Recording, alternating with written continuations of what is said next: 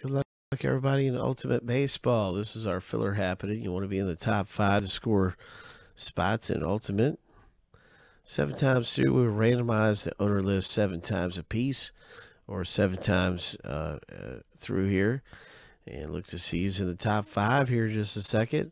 Lucky number seven. Uh, and wow, Aaron N scores all the five spots.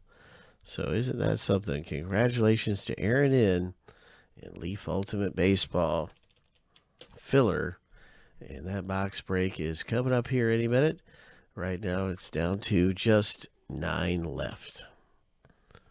Nine left in Ultimate.